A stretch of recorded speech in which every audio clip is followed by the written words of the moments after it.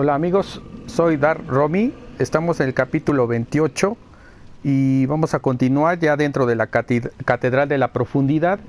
Y en el capítulo anterior establecimos los símbolos fuera y alrededor de la Catedral de la Profundidad, por ejemplo, definidos en la vida real y relacionado con el Sol, del, del por qué pudo otorgar la vida terrenal y posteriormente sufrir cambios, tanto los humanos como los dioses.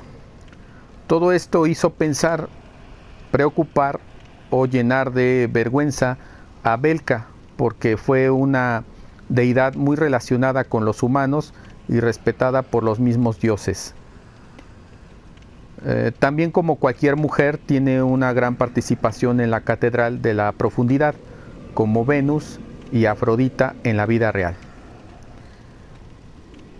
Bueno, muy bien. Vamos a comenzar a ver dentro de la catedral símbolos muy importantes. Y, este es uno de los símbolos eh, importantes dentro de, esta parte de la, de la catedral. El símbolo más importante de la Catedral de lo Profundo y es este, el candelero. Siete cirios en cada lado eh, y uno entre medio. En la vida real se llama así este tipo de, candelabros eh, la menora o menorá, que en hebreo significa lámpara de aceite de siete brazos de la cultura israelita es uno de los elementos más importantes del judaísmo y, como símbolo antiguo remontándose al, al, pueblo hebreo. Desde el acampado al monte Sinaí y en su éxodo rumbo a la tierra prometida, en tiempos de la Edad Antigua, la menorá del templo de Jerusalén simbolizaba la iluminación universal. Las siete lámparas aluden a las ramas del conocimiento humano, representadas por los brazos del candelabro, inclinados ligeramente hacia adentro y guiados simbólicamente por Dios, representado por la lámpara central. Los, brazos del, del, candelabro se representan así, eh, en medio es el Espíritu de Dios, a los lados el, espíritu, el espíritu de la sabiduría y la inteligencia, sucesivamente el espíritu del consejo y de poder y cuatro el espíritu del conocimiento y temor a Dios. Si, si tomamos en cuenta en Dark Souls el centro representa o representaría a Aldrich, el dioses en el segundo sería, o la segunda fila, sería aproximadamente representar a los archidiáconos de la profundidad Después, en tercer lugar, nos iríamos de derecha a izquierda, representa a los diáconos de, alto rango, que sería más o menos por esta, por esta zona. Y eh, eh, los caballeros también de la, de la catedral y las evangelistas. Y el cuarto y último lugar, que sería la zona más, más externa, representaría a, a los clérigos eh, huecos, sobre todo a los diáconos de bajo rango y a los ladrones y así también a, las a los guardias de las, de las criptas. Por último, en la vida real, la menora es entendida como un símbolo místico, cósmico, y es representada en ámbitos tanto religiosos como profanos. Profanos, amigos. Muy bien, vamos a a ver aquí. Eh, también hay otros símbolos importantes, como por ejemplo este símbolo, este animal que ven aquí, se llama, en la vida real tenemos aquí un descendiente del mapache y es llamado Cacomizcle, que significa en náhuatl, náhuatl, claco o claco, eh, ya sea con T o con C, C de casa. Es, eso significa medio y Miscli significa león o felino, es decir, mitad mapache y mitad felino. Vamos a identificarlo como símbolo del exterior de la catedral y nos iríamos precisamente a este lugar. Es muy sencillo. Parece ser que lo, han visto ustedes. Aquí está, miren. La salida del felino viendo hacia afuera. Muy bien. Creo que también está en otros lugares. No sé si este. Miren, allá está al fondo, muy lejos. Ahí está. Es el mismo, pero es la forma de del felino, ¿no? Vamos al mismo lugar. Eh, el cacomiscle es familiar del mapache y tiene una connotación de animales de poder o místicos, buscador de la verdad. La sabiduría del, del cacomiscle o mapache nos alienta a descubrir y aceptar aspectos escondidos de nuestro yo. Sí, por ejemplo, aquí en Dark Souls, eh, cuando los clérigos descubrieron que la maldición les comenzó a dar mucha fuerza y sabiduría por un precio a cambio muy elevado, comenzaron a presentar cambios tanto físicos como mentales, como esa tumoración que ven en ellos. Ahí está un clérigo, está hincado, tal vez está agarrando la cara, igual como en la presentación de Belka, de preocupación, vergüenza, eh, y vemos allí eh, esa parte en la espalda, eh, con esa tumoración o tejido nuevo que en realidad con el tiempo lo veremos como una transformación o, metamorfosis. El, cacomiscle o, mapache eh, también tiene una capacidad de desenmascarar la verdad. Tiene la habilidad de moverse con suavidad y calma entre los muchos roles de la vida. Por ejemplo, el rol de la madre, esposa, hermana, hija, etcétera para disfrutar muchos aspectos del, yo y encontrar deleite en la transición de uno a otro. Esto es muy importante porque sin duda en Dark Souls se llevó a cabo la transición de humanos y dioses en abominaciones eh, muy, muy, muy horribles, ¿no? Eso es muy importante. Ahora, las estatuas de Belka son muy representativas también dentro de la catedral y, la vemos aquí. Está en presencia de, de toda la catedral. Nos debe quedar claro que su influencia es muy importante aquí en la Catedral de la Profundidad, Belka. Ahora vamos a comenzar. Este tenemos presencia de, un ser y es carne putrefacta.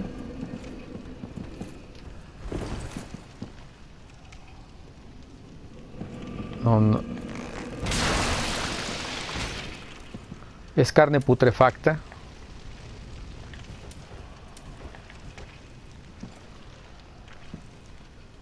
Tiene gusanos, huesos. Y se llama carne putrefacta de, de, Aldrich, así se llama imagínense eh, de qué está hecho este señor de la ceniza, ¿no?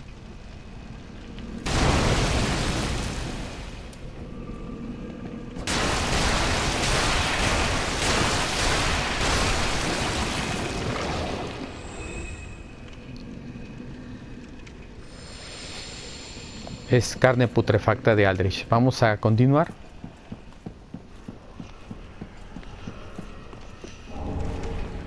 Talismán de duelo. Ese punto hay que, hay que leerlo. Aparte del talismán que nos acaban de ofrecer eh, con las cenizas del paladín, no sé si recordarán, aquí está, el talismán del cazador de los no muertos, tenemos el talismán de duelo. Vamos a ver qué dice. Herramienta usada en duelos de juicio, anula los efectos del área especial durante un breve intervalo. Los caballeros de Lloyd, padre de todos, tenían sus duelos de juicio donde la espada de la ley ejecutaba los veredictos. O sea, quiere decir que le, te quita los poderes que, te ayudan a sobrevivir. O sea, que no nada más eh, te quitan el poder de poder eh, tomar el frasco de esto, sino también también te quitan los poderes de, que te defienden, ¿no? Contra las inclemencias, el frío, el calor, eh, la magia oscura, la magia, eh, el fuego, etcétera. Entonces eh, se ve que actúan con alevosía y ventaja. Aquí tenemos diáconos de la oscuridad. Estos son los diáconos y si nos damos cuenta con ojos rojos, en el pasado probablemente fueron o clérigos o son clérigos, pero actualmente profesan la profundidad. Tiene en su mano una espada candelero y le ayuda a aventar magia, en este caso por medio del fuego.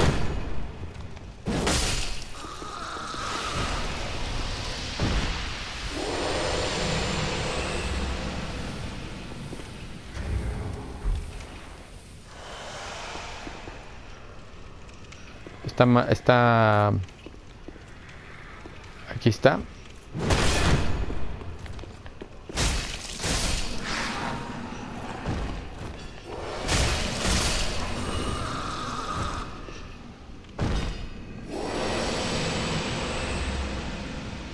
Muy bien, vamos a seguir el camino. Creo que es por aquí. Vamos a activar la o abrir una de las puertas que nos lleva a la hoguera donde se encuentra la capilla para, para continuar nuestra aventura dentro de, de la catedral.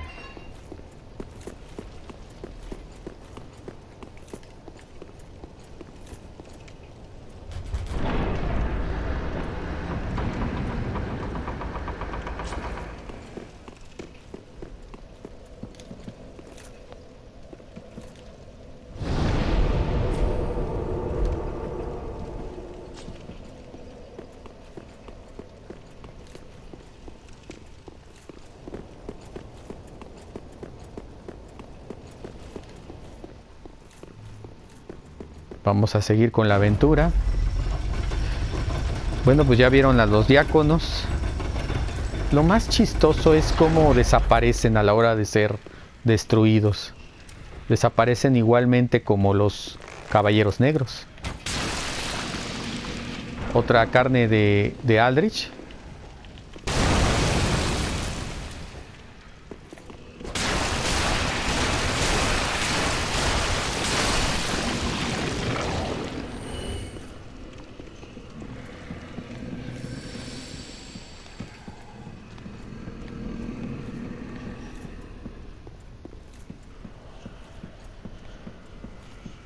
Un evangelista de la catedral.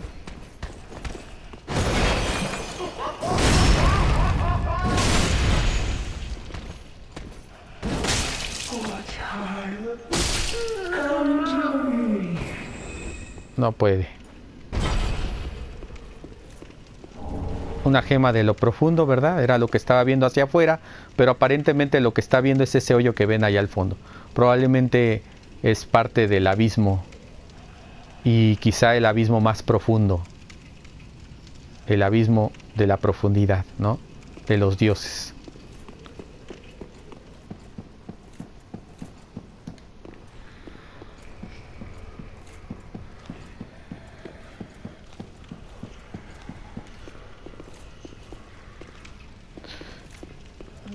Hay un gigante que va a vigilar esta zona, tenemos que correr inmediatamente para evadirlo.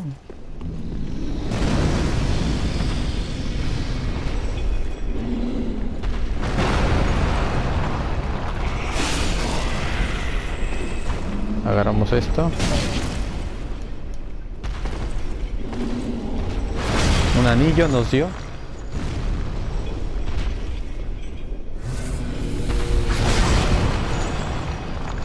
Vamos vamos gigante.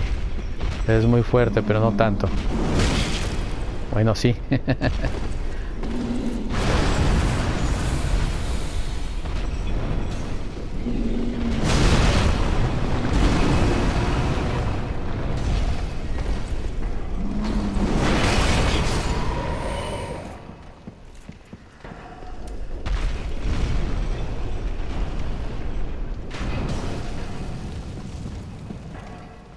Alguien me disparó.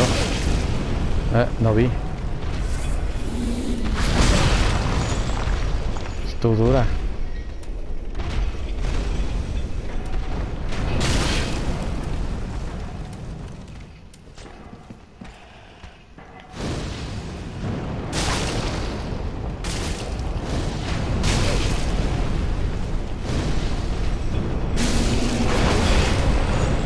Cuidado con ese gigante.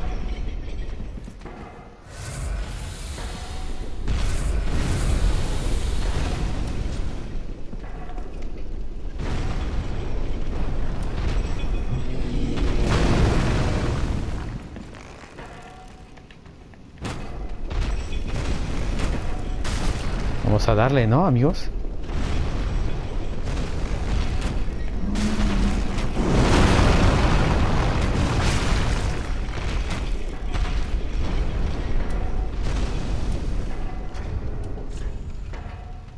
¿Cómo lo atacamos? Ya sé cómo.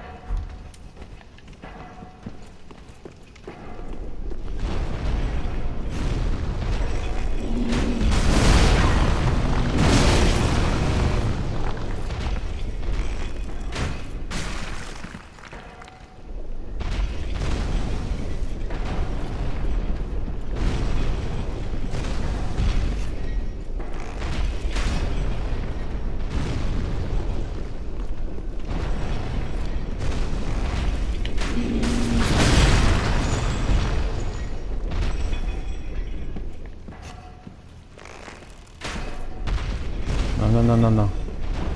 Vamos, asómate.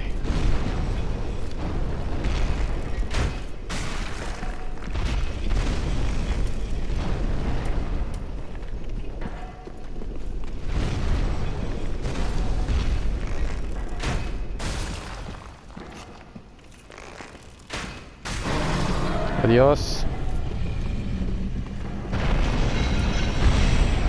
No, muy agresivo.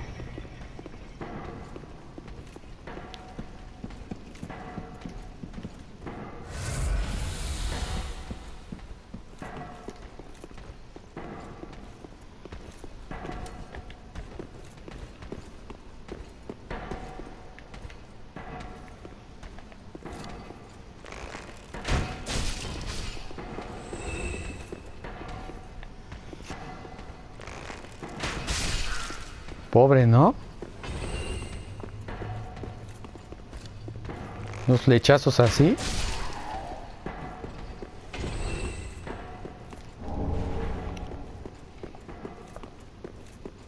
Y aquí hay una trampa, ¿no? Es carne de Aldrich.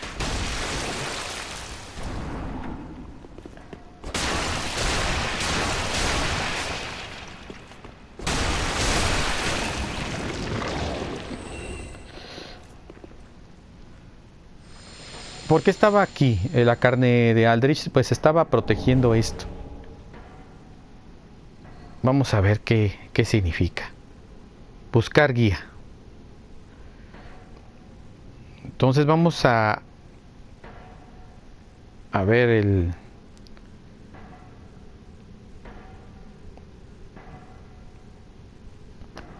el significado. Pues nada más comentarles que este, este milagro es de los clérigos en, en, antaño. En Dark Souls 1 dice que en la misión del no muerto muestra ori orientación y facilita la comunicación entre los no muertos, pero su valor varía en gran medida. Se necesita equilibrio en fe y sabiduría. Sí, parece que era el elemento de los clérigos en antaño para atrapar y cazar el camino de los no muertos, buscar sus escondites, sus señales y sus invocaciones, porque los clérigos tenían en sus manos orbes del ojo rojo para invadir a los no muertos.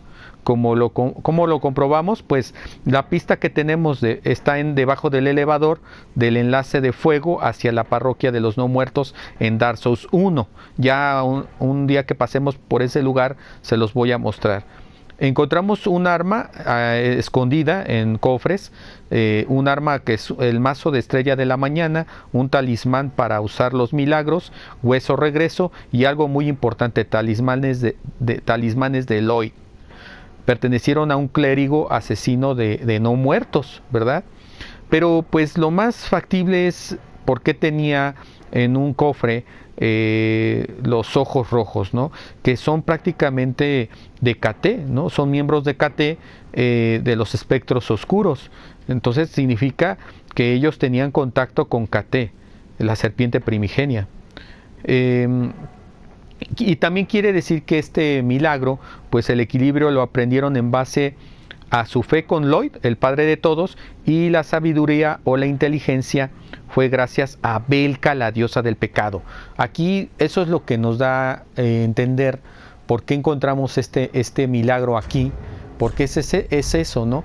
En base a, a Dark Souls 1, por eso siempre hay que conocer bien la historia de, de los milagros en, los, en las tres partes para entenderlo mucho mejor. Entonces, em, eso es en cuanto a Dark Souls 1. En Dark Souls 2 dice, un milagro creado para ayudar a los que se han perdido en el camino. Revela más mensajes de otros mundos incontrolables, mundos que se superponen holgadamente. Y en los puntos de contacto, almas afines que se han perdido, se llaman unas a otras con fugaces mensajes de esperanza depende de la fe. Aquí en, en Darsus 3 dicen, mire, aquí lo tenemos, es el milagro de las almas desviadas, muestra más ayuda a otros mundos y revela señales de invocación sin necesidad de usar brasas. La fe sirve de guía a los clérigos, lo que significa que no necesitan sabiduría de segunda mano. Sea como sea, este milagro ha ido pasando de un alma a, otra y proporcionando un pequeño rayo de esperanza a los perdidos. Pues sí, pero aquí demuestra que los clérigos ya no existen o, están huecos, por lo tanto, ya no funciona en sus manos este milagro, porque los diáconos de lo profundo adoran la oscuridad, la oscuridad profunda, en donde la fe se ha terminado por, por muy curioso que sea. Y la inteligencia es la que se ha incrementado en gran medida, amigos. Entonces es la diferencia, ¿no? Ya ese milagro ya no existe para ellos, para nosotros sí, para quizá buscar el camino, no nos perdamos, para eso sirve, pero para, para toda clase de clérigos ya no, porque están muertos, están huecos o son ya diáconos de lo profundo. Hay un evangelista aquí.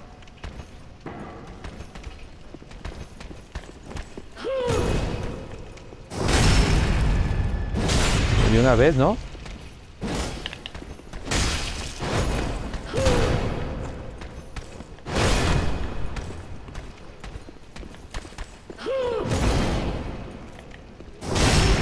Adiós.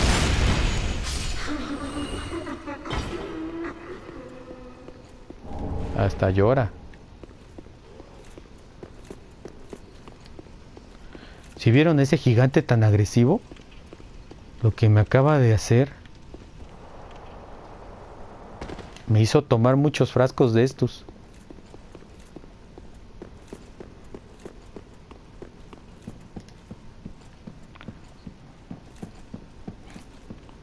Aquí nos encontramos en una capilla donde está un, un mímico y vamos a, observar cómo se sube y se baja, ¿no?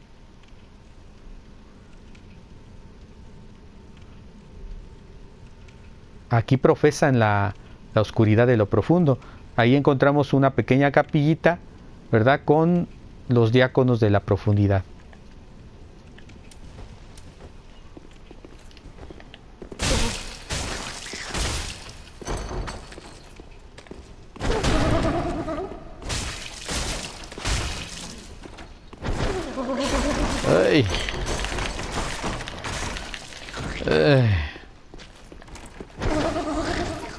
No, ya no. Adiós.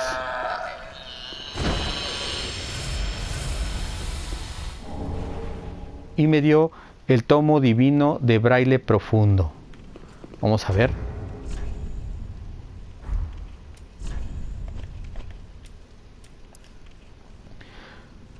Tomo divino escrito en braille que pertenece a los diáconos de la catedral. Entrégaselo a un cuentacuentos para aprender los milagros de lo profundo.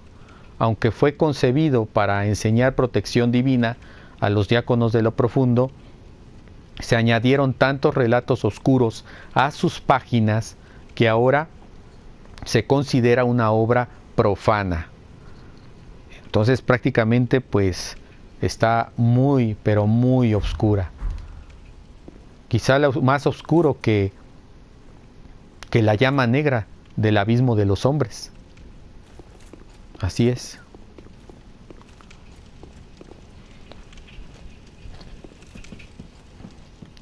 Aquí vamos a verlo mejor. Aquí tenemos unas imágenes y si observan parecen sátiros. Ahí, aquí en esta parte tenemos dos ciervos y en medio como un, un pequeño florero o árbol. O bien es un florero con la salida de flores. Pero por lo pronto aquí vemos como unos sátiros. No sé si los logran ver. Em, parece la forma de sátiros y recuerdan a los gurú, los vigilantes del abismo. Los sátiros, eh, los gurú, o sea, de los, los acólitos, ¿no? De los vigilantes del abismo. Los sátiros tienen dos géneros independientes. Uno es griego y otro es romano conectados por la naturaleza subversiva atribuida a fuerzas opuestas al orden, el decoro y la propia civilización. Eso en la vida real, amigos. El término sátiro es denominar a un hombre por el apetito sexual, que, que es fuerza en perseguir las mujeres en contra de lo que ellas deseen. Sin duda las mujeres forman parte muy importante de este lugar. Por ejemplo, eh, la función de otorgar la vida, pero, pero siempre atados o atadas a un alto precio. ¿sí? Pero esto tiene algo muy importante dentro, dentro de la historia ¿no? de Dark Souls. Y pues aquí nos está dando el ejemplo ¿no? de lo que pasó aquí en la Catedral de lo Profundo. Muchas abominaciones, ¿no? Surgieron aquí. Eso lo vamos a seguir comprobando. Y ahí tenemos a un caballero de la catedral de lo profundo. Son muy fuertes, ¿eh? Oma. ¿No?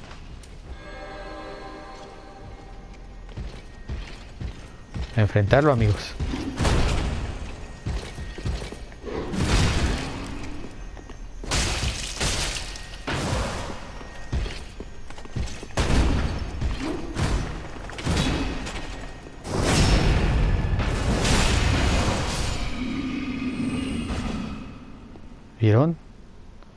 Poderosísimos, ¿no? Son los caballeros de la catedral. Vamos a ver si encontramos algo sobre ellos. Debemos de tener su atuendo. El caballero de la catedral. Parece ser que no tengo nada sobre él. Creo que no es importante saber. Aquí está. Máscara del caballero de la catedral. Yelmo de hierro masivo de los caballeros que sirven a la catedral de lo profundo. Las repulsivas criaturas de las profundidades atraen a, a los ingenuos, pero los caballeros de la catedral están listos para recibir a los intrusos con su más que amplio poder. Nombre.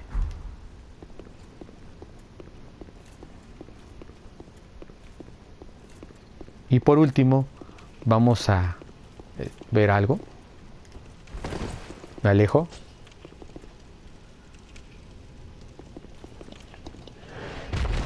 ¿Vieron?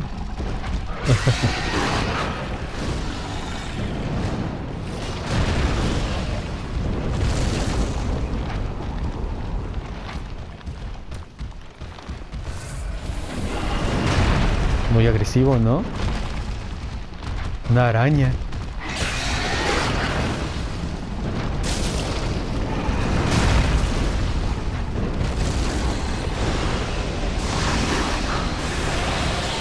¿Qué nos echa?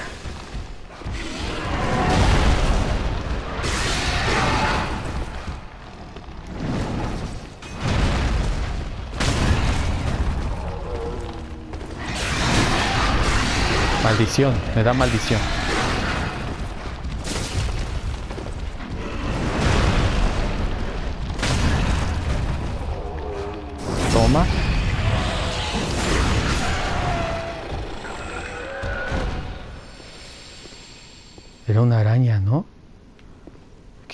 Amigos.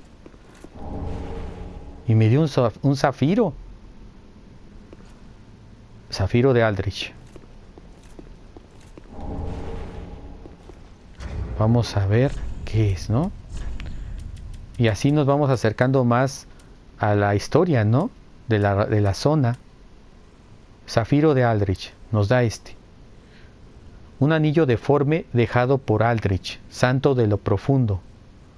Recupera puntos de, se podría decir de magia, ¿no? De, de poder mágico, al realizar ataques críticos.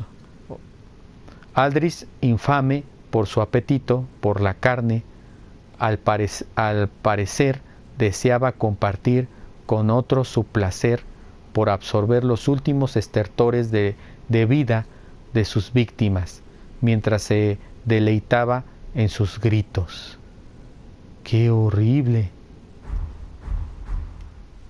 O sea que era como un monstruo que los fue absorbiendo poco a poco y la gente gritaba de dolor aún estando vivos, y él comiéndoselos, ¿no? ¿Qué, qué, qué señor de la ceniza es este, no?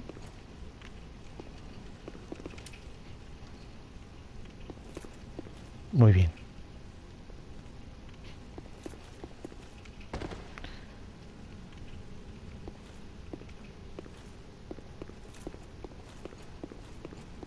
Muy bien amigos, yo creo que aquí le vamos a dejar. Eh, denle like si les gustó el, el video y por favor suscríbanse, apúntense en la campanita para que les llegue más notificaciones cuando yo suba un video. Opinen amigos, muchas gracias. Hasta pronto.